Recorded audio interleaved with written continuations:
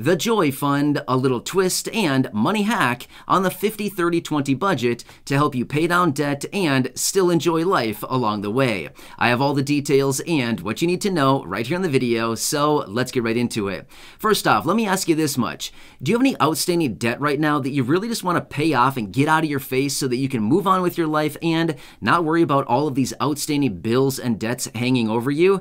Well, I think that's the story for a lot of people right now. Well, in this video, I'm going to be talking about a little twist and a money hack to a very popular budgeting strategy, the 50 30 20 rule, and how you can apply this little twist to pay down your debt quickly and move on with your life. And ultimately, you're probably still going to enjoy your life throughout the process of paying down debt.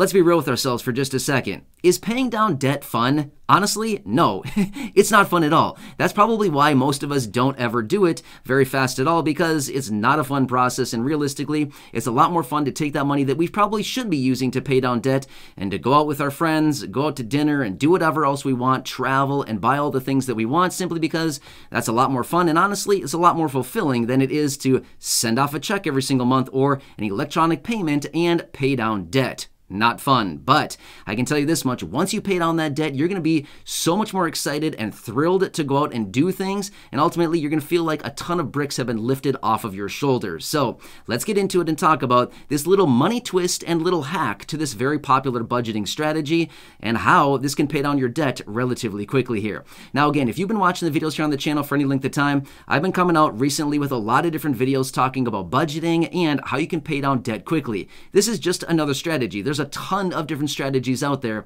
of how you can pay down debt quickly. So this is just another idea. And again, like I say in all the videos, you just need to find something that works best with you, your personality, and of course, your personal situation because it's different for everybody. It's not a one size fits all approach. There's a different budgeting strategy for everybody out there. You just got to find the right one that works for you. So maybe this will be another one that works uh, well for you. And again, you just got to keep trying until we find something that actually fits for you and your personality and of course your personal situation. All right, right, so let's get into it. First off, let me take just a second here and talk about the very popular 50 30 20 rule. Here's what it comes down to. So basically you take your after tax income. In other words, your your take home pay, right? So let's just say for example that you earn $1000 a week. Uh, yeah, let's just say $1,000 a week. And after taxes, you take home $700. Ouch, right? Well, anyway, you get to take home $700. That would be your take home pay, your after tax pay, okay? So whatever you're taking home uh, would be your after tax pay. So that is the number that we want to work with. So whatever it happens to be on a monthly basis, a weekly basis, however you see fit for you, take these numbers and that's where we're going to calculate from. All right, so here's the rule that I want to share with you, and then I'll show you the little twist that I want to share with you based on this very popular budgeting strategy. All right, so the 50 30 20 rule comes down to this you take 50% of your after uh, your after tax income, your take home pay, that you would use for necessities, needs, things like food, gas in your car, um, you know, insurance on your car, uh, rent, a mortgage, utilities, your phone bill, all kinds of things that basically you have to pay on an ongoing monthly basis. If you don't pay it, it's probably not going to be a pretty picture, right? So that's what this 50% would be used for. In this case, the $700 example that I gave you, it would be 30, uh, sorry, $350 is would be allocated to that because that is 50% percent of that $700. Now, next, we take the 30%, and generally, this rule would suggest that 30% of that would go towards your wants. I'm gonna be honest with you. Realistically, to me, that seems like a very high percentage of your take home pay going to your wants. But again, that's just me. I like to err on the side of a little bit more caution just because for me, I like to kind of, you know, not spend as much today so that I can have more tomorrow. That's just kind of how I approach things. But again, that's just where it works for me and my personality and my comfort level. It's going to be different for everybody. But the 50 30 uh, 20 uh, rule comes down to that 50% you peeled off for your needs and your necessities, and now 30% would be allocated for your wants, whatever your wants would be the new latest greatest AirPods, the new latest greatest iPhone, the new latest greatest laptop, or whatever it happens to be, the new car that you're saving up for. Honestly, it all comes down to that stuff. So that would be the 30%. And now the 20% would last be for savings. So then you'd peel off the extra 20, throw it into your savings. And again, that would be for like future things uh, out there. Maybe buying a house at some point, maybe, you know, whatever it happens to be, saving for retirement, whatever all these things are, uh, that is what the 20% would come in at that point. However, now let's talk about a little bit of a money hack and a little twist here on this to help you pay down that debt more quickly because realistically, let's just say this much. If you are paying down debt right now, and you have debt hanging over you right now, would you feel a little bit more relieved and more financially stable if that debt disappeared from you?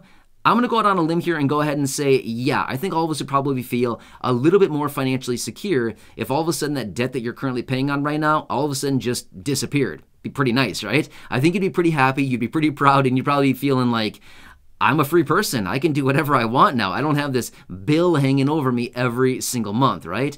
All right, now let me tell you the hack and the twist here. Here's what it comes down to, and this is the Joy account. Yes, it's still going to be pretty fun, even though it's, you know, maybe not going to be as fun as you'd want it to be. At the end of the day, the whole objective here is to pay down debt because once you get on the other side of that debt, guess what? It's going to be really fun. It's going to be even better, right? So, a little bit of pain today, a little bit of struggle today is going to result in a lot more pleasure and fun tomorrow.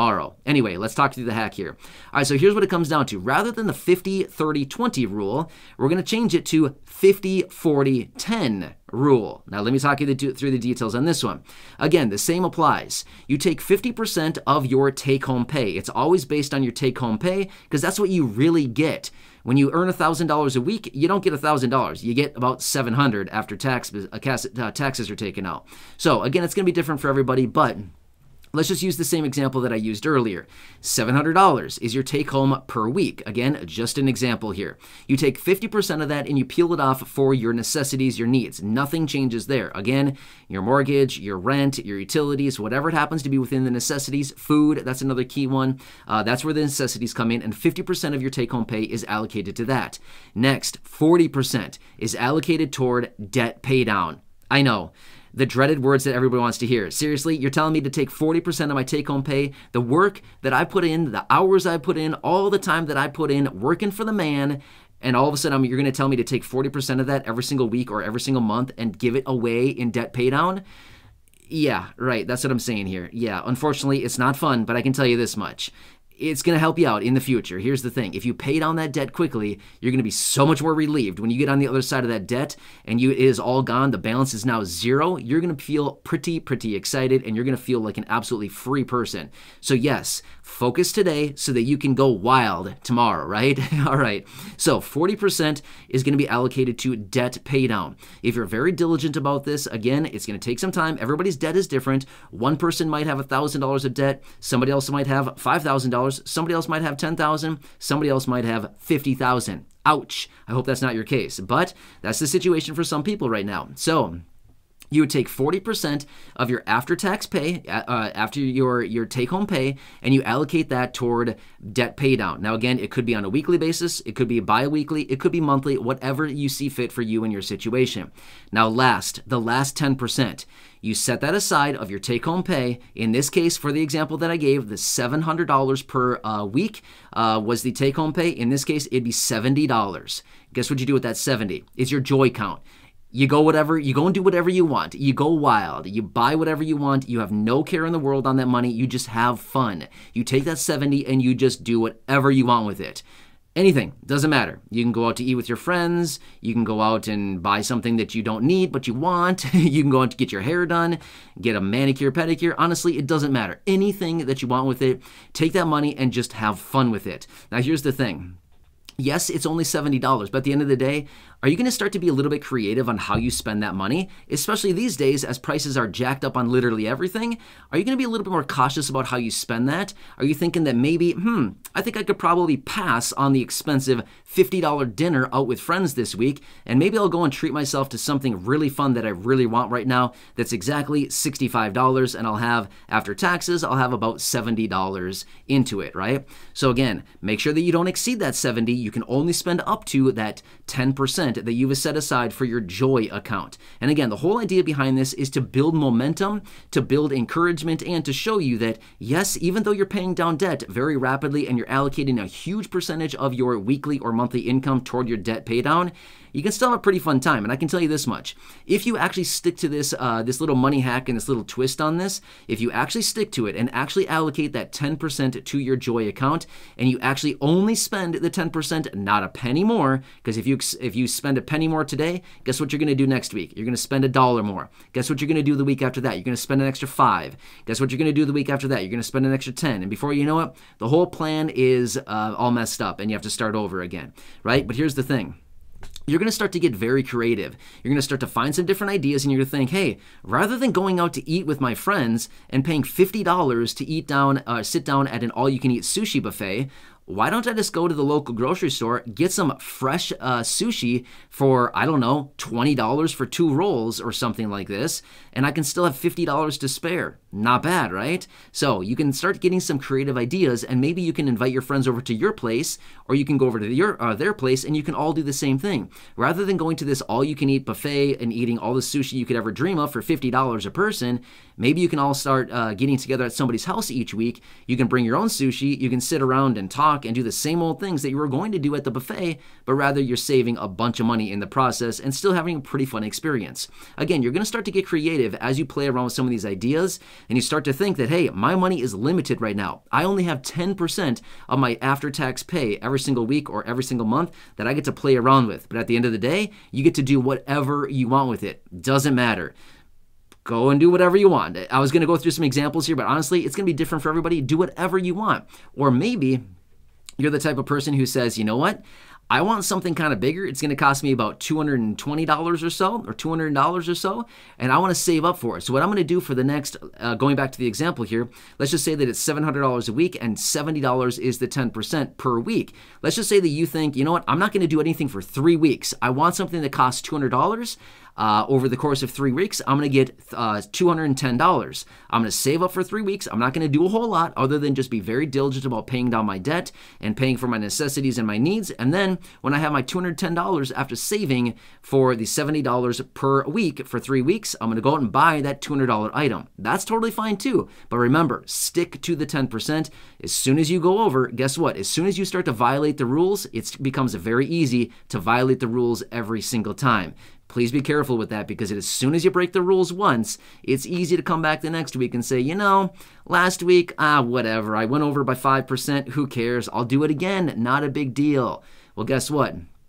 all those little 5% mistakes, all that extra little $5 here, $10 there, $12 there, all of that stuff adds up. And before you know it, a few months later, all of a sudden, you've realized you just blew $500 on extra little things because you went over and you weren't uh, disciplined throughout the process. And again, I know it's not fun. I know budgeting is never fun to talk about. I know paying down debt is like honestly the worst thing to talk about because realistically, who wants to do it? Nobody. That's why nobody pays down their debt. That's why everybody carries tons and tons of credit card debt. That's why we all have a mortgage. That's why we all pay rent every single month. That's why we all finance our phones. Why? Because why would we want to pay it off when we can just pay uh, monthly installments of a little tiny bit and we can take the rest of our money and go out and have tons of fun with it? Makes sense, right? That's why everybody is in debt so much because why? Why not be? It's fun to be uh, free. It's fun to take that money and go do fun things with it rather than actually paying down debt. So, anyway, hope this one gives you a little bit of a money hack and kind of gives you a better perspective on what you can do with this money that you're actually uh, saving and actually using to pay down that debt for you.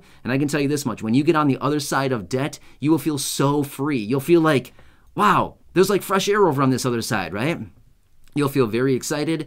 You'll feel thrilled about it. At the same time, if you stick to this and allocate 10% of your take home pay each and every week or month or bi weekly, whatever it happens to be, for your Joy account, I can tell you this much. You're going to be pretty joyful as you go out and you spend that 10% or do whatever you want with it. You're going to feel pretty excited. At the same time, when you're paying down that debt aggressively, you're going to feel pretty, pretty excited and very encouraged. So, again, hope this one helps you out. Again, please make sure to subscribe down below if you haven't done so yet. Share the video with your friends, family, social media, and go back and check out some of the other thousands and thousands of videos here on the channel. And go back and check out some of those other uh, budgeting videos that I have here as well. Like I said at the beginning of this video, you need to find something that works best with you, your personality, and your personal situation. It's going to be different for literally everybody, but find something that works best for you and stick to it. And I can tell you this much if you just stick to a plan, whatever the plan happens to be, eventually you will come out the other side. You just got to stick to a plan. So, anyway, hope that helps you out. Again, subscribe, share, and go back and check out the other videos here on the channel. Until next time, have a good one. I wish you the best of luck, and I will continue coming back with more money hacks and twists on popular budgets to help you out in way that I can. Enjoy and have fun. I'll catch you again later. In